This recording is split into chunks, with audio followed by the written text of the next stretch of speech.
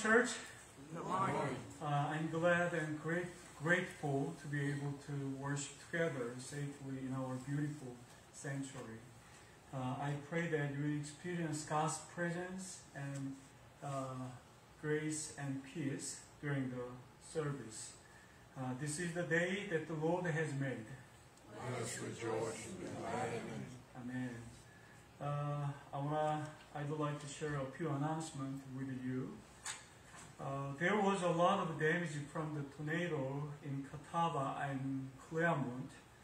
Uh, if you know anyone that needs uh, need our assistance, please inform the church. Uh, Sandy and Jean Housley are safe by God's grace, but their town faces significant damages. Uh, please pray for them, and you can give them. I mean, you can give Jean and Housley a call or visit them in order to comfort them during this challenging time. Uh, uh, we have another. Uh, we have great news. Hal had a successful surgery. Uh, even though he's still struggling with his uh, some pain from the operation, uh, the recovery is going well thanks to everyone's prayers. And please continue to pray for his speedy recovery. Um, thank you to everyone who worked hard last week at the New Year's luncheon. We enjoyed the delicious food together and enjoyed each other's company. Uh, your hard work is truly, truly appreciated. Uh, today we have a quality ministry preparation meeting. Uh, we will meet at Parsonage at 3 o'clock. Uh, your presence and wisdom are valuable contribution to our church ministry. Uh, let's gather and plan for impactful service. Um, our conference gives us a good educational opportunity. Uh, we have classes for clergy and congregational leaders from January 21st to 25th. Uh, there are very beneficial classes for church ministry, uh, church lead, uh, leaders in our church. Uh, please register for the classes. I believe that it will give us valuable insight for ministry.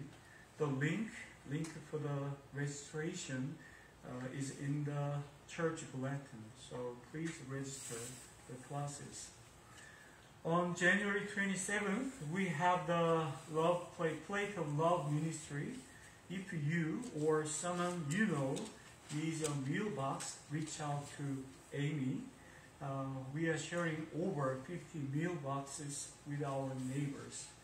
Uh, thank you to those who cook and deliver for this ministry, especially Amy. Your uh, organization for Love Plate is truly commendable. Thank you again. Uh, on November 25th, join the Sunshine Club uh, at the Taste of Catawba starting at 11.30. I hope you will be there to share this special fellowship with us and your presence will make the event even more enjoyable. Please come and join with us. Uh, I want to thank those who cleaned up the church. Uh, what I mean, uh, thank you to those who took down the Christmas decoration um, of the church. Uh, the church is maintained by your precious, precious uh, dedication. Uh, thank you again and blessings to all of you. Is there any other announcement?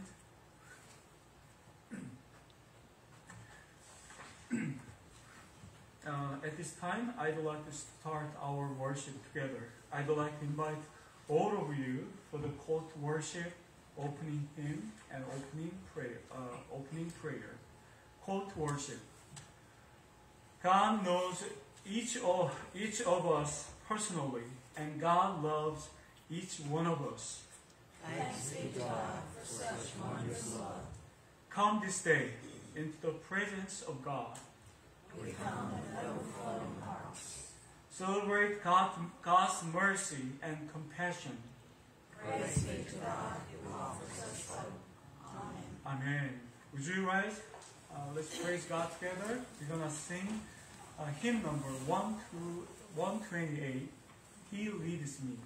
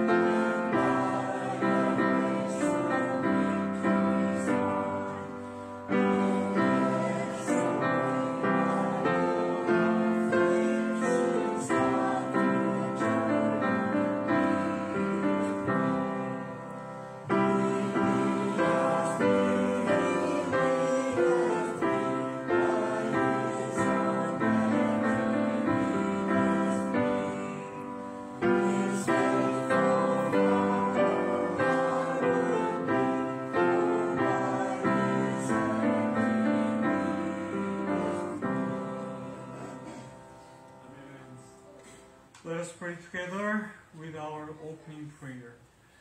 Loving God, you know us better than we know ourselves.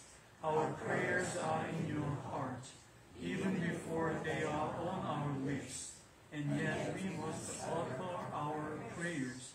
We must proclaim our praise to you and all your wondrous creation. Your love surrounds us, and you have promised to be with us always. You know our heart's desire to serve you. We pray that you will keep us true to that desire, and so we offer our prayer. In Jesus' name, Amen. And as you taught us, so now we pray. Our Father, who art in heaven, hallowed be thy name. Thy will be done, on earth as it is in heaven. Give us this day our daily bread, and forgive us our trespasses, as we forgive those who trespass against us. And lead us not into temptation, but deliver us from evil. For thine is the kingdom, the power, and the glory, forever and ever. Amen. You may be seated. Let's turn to our neighbors and share this simple but powerful message. God loves you, and so do I. God loves you, so do I. Amen. For this time, we'll have a young Christian time. Uh, every children to come forward for the young Christian time. Please come forward.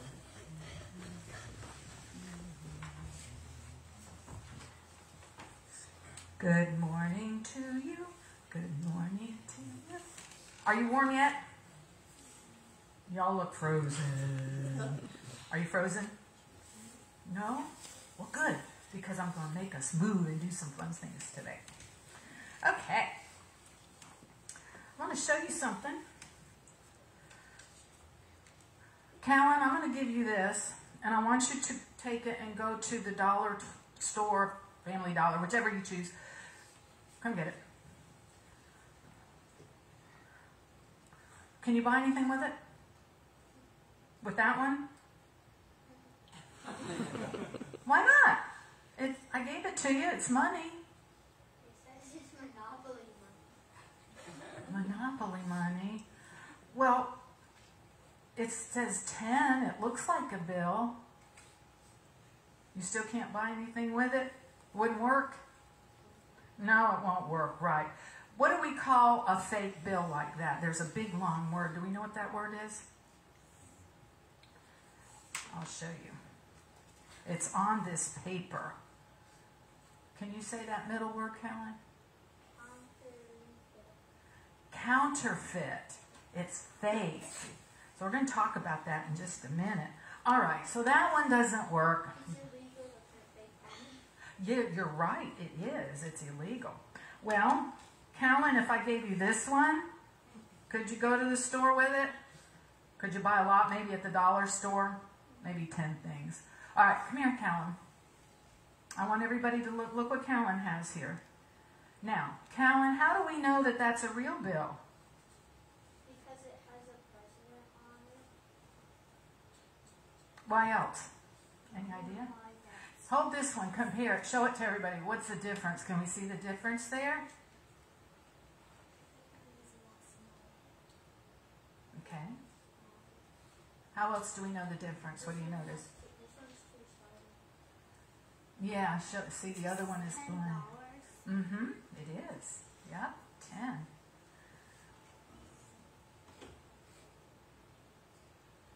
Callan, how do we know that that one I gave you, the bigger one, is not a counterfeit?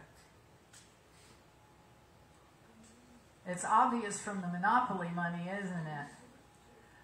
How do we know? They said no more fake marks. Okay. Any other ideas? Y'all pulled it apart pretty good. What's your idea? So basically, this one doesn't have the letters that it's.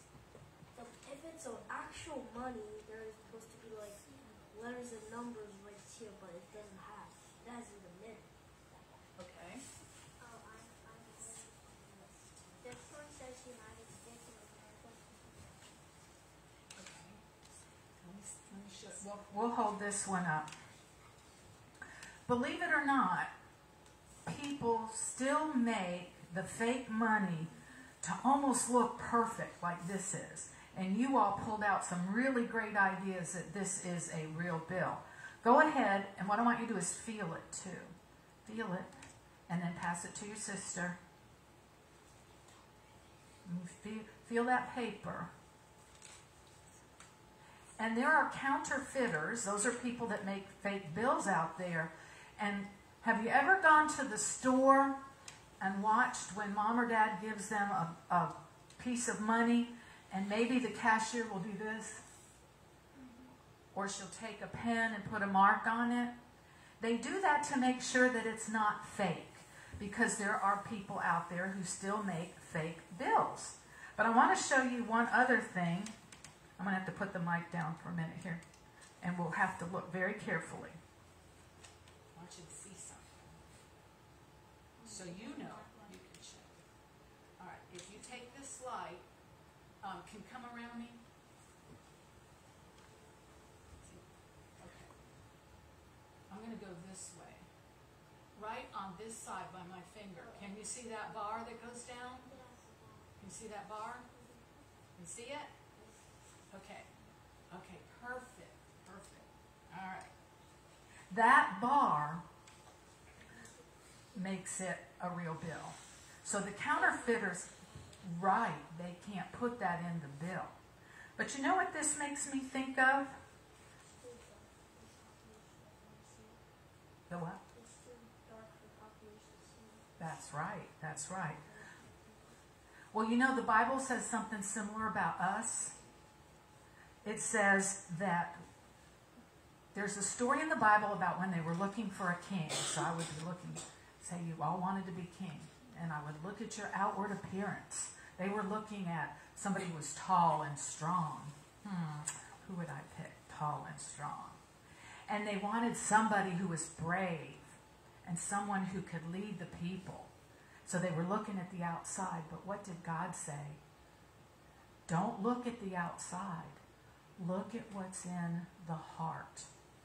And so, as Christians, there might be people who come to church, sing, read the Bible, but they may be a counterfeit Christian. What does that sign say? Okay, hold that one up so everybody can see it out there. You hold it up? You want to hold it up? One of you hold it up. Hold it up so everybody can see. Don't be a counterfeit Christian, right? How do we know if it's a counterfeit Christian? It's what comes from the heart, right? And here's what I want you to be. What does that one say? Hold that one up so we can say. Be the real deal. So when we have Jesus in our hearts and we do everything from a heart of love, we're going to be what? The real deal. Right. I want you to show everybody. I think y'all know how to do this. How do you make a heart with your hands?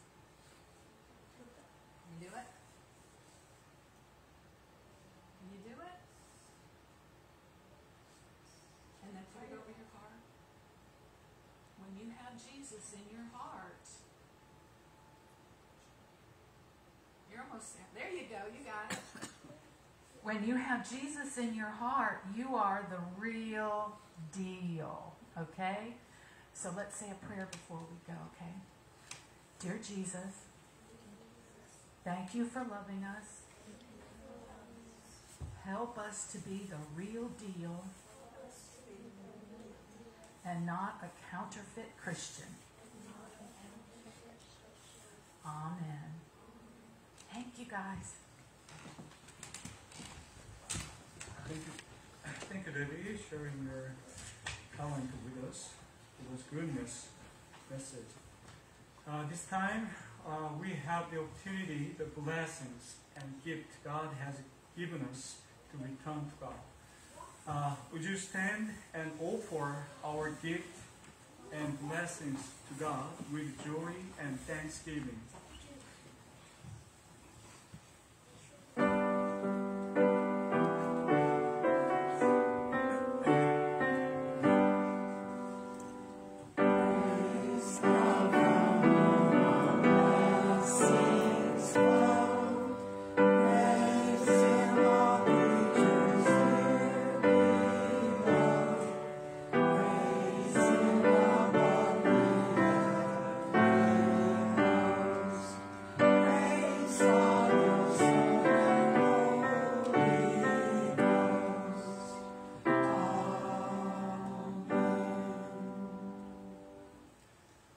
God, we give it back to you from the abundance blessings and gift you bestow upon us.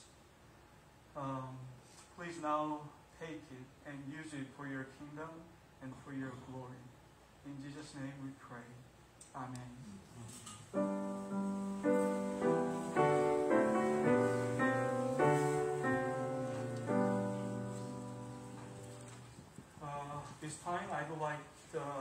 Like to read today's scripture, 1 Corinthians chapter 6, verse 12 to 20. Um, everything is permissible for me, but not everything is beneficial. Everything is permissible for me, but I will not be mastered by anything. Food for the stomach, and the stomach for food. But God will destroy them both. The body is not meant for sexual immorality, but for the Lord, and the Lord for the body. By his power, raise the Lord from the dead, and he will raise us also. Do you not know that your bodies are members of Christ himself? Shall I take shall I then take the members of Christ and unite them with a prostitute? Never. Do you not know that he who unites himself with a prostitute is one with her in body? For it is said, the two will become one flesh. But he who unites himself with the Lord is one with him in spirit. Flee from sexual immorality. All other sins a man commits are outside his body, but he who sins sexual sins against his own body. Do you not know that your body is a temple of the Holy Spirit who is in you, whom you have received from God? You are not your own. You are, you are bought at a price. Therefore, honor God with your body. The word of God for the people of God. Thanks be to God. Um, let us pray before we share the message. Dear Heavenly Father, as we gather in worship today, we humbly come before your presence, seeking your grace and guidance. May this service be a time when each of us can deeply feel your love and experience your comforting presence and protect and guide each of us in our journey of faith with your almighty power. Lord, we lift up those who are suffering from the recent tornado. Comfort the heart of the heart of the affected families and bring a speedy resolution to their challenges. In the midst of uncertainty, we ask that your peace and grace surround them. We also bring before you the sick members of our church family. Surround them with your healing touch of comfort, comfort and strength. Strengthen, strengthen the hands of their caregivers, and may your presence be a source of resilience for both sick members and caregivers. Lord, we entrust the children youth of our church into your loving care. Protect them from the challenges of the world, and may they grow in your wisdom and grace. Guide them in their journey of faith and may they find joy and fulfillment in knowing you. As we approach the sermon, open our hearts to receive your word. May your trust, may your truth resonate within us, and may we be receive, uh, receptive to the guidance of your Holy Spirit. Lord, be present in this time of teaching and preaching that we may grow closer to you and understand your will for our lives. In Jesus' name we pray. Amen. Uh, I forgot to share uh, that we have some members, uh, someone who has a birthday, Carol Sharp. 16th is Carol Sharp's birthday. Carol. Caroline Sharp. Right. Uh, and 19th is Judy Spencer. Uh, happy birthday, all of you. Uh, uh, I pray that uh, you will experience God's grace and peace while as we share the message this morning. Uh, we Christian are people who believe in Jesus and follow Him in our daily lives. Uh, living by faith means we belong to the Spirit of God, and our bodies are a holy place for God as holy, uh, as His holy temples. God wants us to be holy in both our spirit and our bodies. As His children, we are to we are to be holy because God is holy. So we today, I pray that we will understand the importance of living a holy life in God and the meaning of glorifying God through our lives. Now let's talk about Corinth, the background of today's scripture. Corinth was a central trading city for the Mediterranean countries It was a large city with a lot of trade. The city even had a huge outdoor theater that could seat 20,000 people at a time. It was a huge city. Uh, many ethnic groups lived in Corinth, and they brought their own gods, idols, with them to the Corinth. Corinth was a very corrupt city. It had a big problem with people doing wrong things, especially in the area of relationships. There were female priests in the temples who had improper relationships with the Corinthian people. Surprisingly, in Corinth, uh, it was legal and normal for people to cheat on their partners. Uh, some believed that engaging in prostitution in the temples would bring them blessings and wealth from their gods. The prevalence of immorality was due to the people in Corinth being influenced by Gnosticism. Gnostics who believe in Gnosticism strongly believed that the soul was important, but not the body. So they lived according to their physical desires and didn't think it uh, didn't think it was a problem. Even some people in the Corinthian church still kept these bad uh, behavior, this, this kind of bad uh, customs and belief. They justified their moral corruption and continued committing sexual sins. So the Apostle Paul had something important to say to these believers who were going to wrong way. Here's verse 12. Everything is permissible for me, but not everything is beneficial. Everything is permissible for me, but I will not be mastered by anything. Let me explain this verse.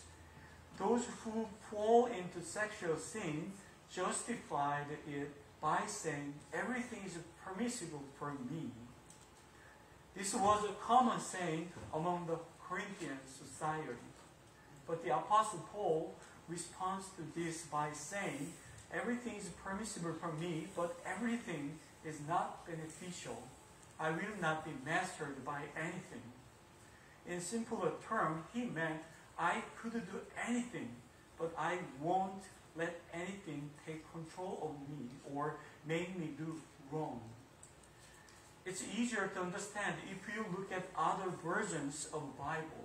In one version, it says, Everything is permissible for me, but I will not be enslaved by anything and brought under, under its power, allowing it to control me. Christians have freedom given by the Lord, but we choose not to use it to commit sin. As children of God, everything is permissible for us. We are not under the law anymore. We are not enslaved to sin. We enjoy freedom, freedom in Christ. We use our freedom under God's authority in alignment with His Word. So we must understand the difference between true freedom and indulgence. When someone commits a sin and says, everything is permissible for me, that's not true freedom. It's disobedience before God. It might be freedom for those who are not in Christ, but it goes against our faith in Christ. True freedom for a believer is to, be, to live a holy life in Christ and to live under His authority. Please imagine a child who does whatever they want. They skip school and ignore their parents' advice and guidance for their lives. If that children then claim, I'm free to do what I, what I want, that's not true freedom. It's just the indulgence. The true freedom of Christian is experienced only in Jesus Christ. When we follow His guidance, we are truly secure and can enjoy His freedom. It's about enjoying true independence under God's authority. A child enjoys true freedom when they listen to and trust their parents. We should examine uh, whether we are in, indulging ourselves like the Corinthians did. Sometimes we can wrongly use the freedom we have. Instead of following God's rules, we may end up living according to our own desire. It is a sin when we live based on our own desire rather than following God's law. Sometimes we rely more on our own experiences and knowledge than on what God says in His Word. This can make us self-indulgent. When someone doesn't play musical piece according to the musical score, we don't call it a great performance. A great performance is when we play according to the musical piece. Similarly, in life, following the truth of God is possible when we live our lives according to His Word. I pray, I pray that you will live your life in the authority and truth of God. In some cases, we don't follow God's law, but we follow others in their bad behavior. Please imagine a scenario within the church community um, where there's a practice that doesn't align with God's principle. Not our church, probably the other church. Uh, I could be, it could be an attitude of gossip, bullying, or lack of genuine love and care for one another. You might witness this scenario instead of standing firm in God's value. We may rationalize it by rationalize it by saying, "Well, everyone else to be seems to be participating in this behavior. It doesn't seem like a big deal to me, and you will end up doing something wrong together." In Korea, there's a saying, "Following your friends down the wrong path." In doing so, you might unintentionally ignore God's authority and convince yourself that it is acceptable to follow others' wrong behavior within the church. It is a sort of way we deviate from God's will as we uh, rationalize our action by blindly following others. Church community must also be held accountable to God's stands and not sacrifice their values based on the action of those around them. We should be aware of being influenced by the wrong action of those around us. Let's strive to uphold God's stands even when we face with the temptation of conformity with our own community. The Apostle Paul warns the Corinthians who excuse their sins in verse 13. He talks about the saying. Could you read it together, please? For food, the stomach, and the stomach for food. But God will destroy them both. The body is not meant for sexual immorality, but for the Lord, and the Lord for the body. Amen.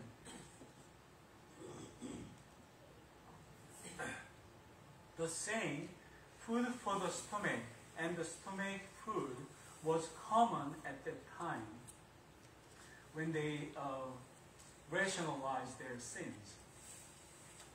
It means that it's natural to eat when you are hungry. Uh, some Corinthians used the it to justify in, inappropriate relationship with woman in the temple whenever they committed a sin, they uh, tended to tended to rationalize it with the idea of food for the stomach and the stomach for food. But the Apostle Paul strongly warned that our bodies are meant for the Lord, and not for sexual immorality. so, what is our body for? Our bodies are for the Lord alone. That is, the Lord. That is, the Lord is glorified through all the actions of our bodies and with the fruits of our life. What does it mean that God is glorified by the fruits of our lives? Jesus gave us the first example. He embraced the socially marginalized whom religious people had discriminated against. At the time, religious people like the Pharisees and Sadducees believed they were holy before God while excluding the socially weak. But Jesus was with the socially weak and he embraced them. Jesus with the sick and the sinners. The religious people of the, of the day used scripture to condemn them as unclean. But Jesus embraced them. They understood the Bible in their own way and used it to judge their neighbors. But Jesus loved the people who were rejected and condemned by the majority. This was the image and life of Jesus Christ, who glorified God. Do we have an image of Jesus like in us? If we have a heart to help the marginalized people around us, then we are the body of Christ. Then we are the children of God who glorify God through our lives. The situation in the Corinthian church and in the time of judge is similar to today. At that time, there was no king in Israel. Every man did what was right in his own eyes. Everyone lived as the master of their own life. They did not follow God's rule. They did not live before God. Everyone was the king of their own life and lived as they pleased. But those who lived as their as they pleased didn't know didn't know what they were doing wrong before God. They were the master of their own life. This is the same today as it was in the past. The Pharisees and Sadducees, who were most blamed and criticized, criticized by Jesus, thought they were living according to God's will, according to God's word. The most common word out of their mouth was that they loved God. So we could see that through the Pharisees and Sadducees that faith is not demonstrated by word, but by fruits of the Holy Spirit, that is by actions.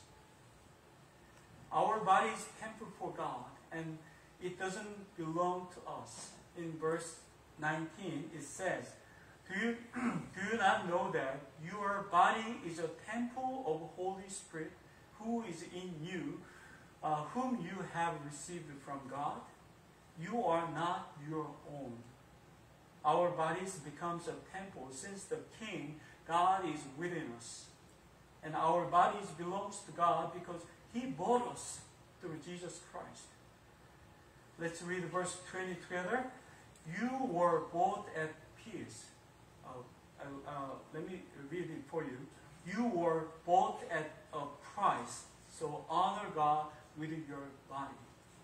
Our lives belong completely to God, and we shouldn't think that our bodies are just for our own desire and pleasure. We must use our bodies the way the Lord wants us. What does it mean to use our bodies for God? Romans chapter 6, verse 13 says, uh, could you read it together, please? Ready, go.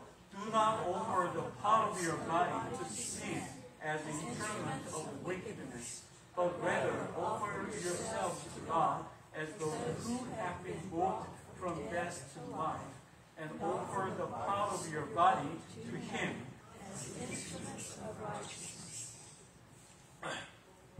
We, we have to, we must give our bodies as an instrument of righteousness to God. In verse, uh, in this verse, instrument of righteousness refers to using our body for spreading the gospel, serving the church, and helping our neighbors. It's an example of using our bodies for, for God. Please ask yourself who you belong to. Is it God, yourself, or someone else? A Christian li- uh, lives for God and serves others, not just themselves. A Christian does not live a self serving life, but serve the weak in the world as Jesus did. We were bought at a price, and our lives belong to completely God. So let's use our freedom to serve the Lord, spread the gospel, and help our neighbors. As real Christians, we don't live for ourselves, but for God and others. I pray that you live in the Lord, Lord's freedom, and serve Him with your lives. Friends, this is all said in the name of the Father, of the Son, and of the Holy Spirit. Amen. Would you rise? At this time, let's affirm our faith as found in the Apostles' Creed. Let us confess our faith together. I believe in God the Father Almighty, maker of heaven and earth, and in Jesus Christ, his only Son, our Lord, who was conceived by the Holy Spirit, born of the Virgin Mary, suffered under Pontius Pilate, was crucified, dead, and buried. The third day he rose from the dead. He ascended into heaven and sits at the right hand of God the Almighty. From thence he shall come to judge the quick and the dead. I believe in the Holy Spirit, the Holy Catholic Church, the communion of saints, the forgiveness of sins, the resurrection of the body, and the life everlasting. Amen. Let us close our time together in hymn as we sing hymn number 468. Dear Jesus, in whose life I see.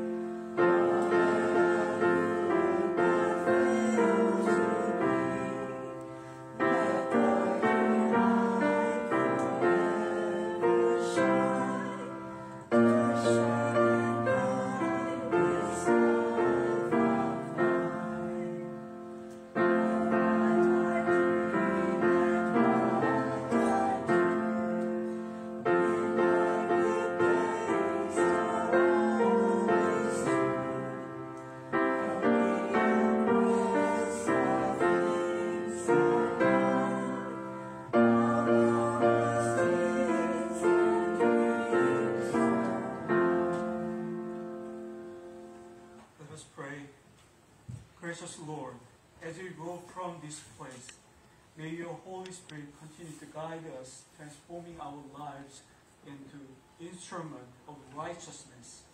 May our, may our bodies and actions bring glory to you, reflecting the love and compassion demonstrated by our Lord Jesus Christ. Father, as we dismiss, may the peace of God the Father, the grace of Jesus the Son, the guidance and communion of the Holy Spirit be with you now and forever. Amen. Amen.